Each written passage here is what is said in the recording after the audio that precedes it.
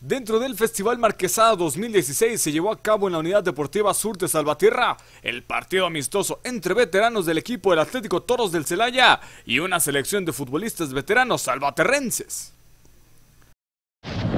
La selección mexicana femenil de hockey sobre pasto se proclamó campeona de la Liga Mundial de Hockey Salamanca 2016 al vencer por marcador de 4 a 1 a su similar de Trinidad y Tobago y obtuvo su pase al round 2 con sede en Canadá.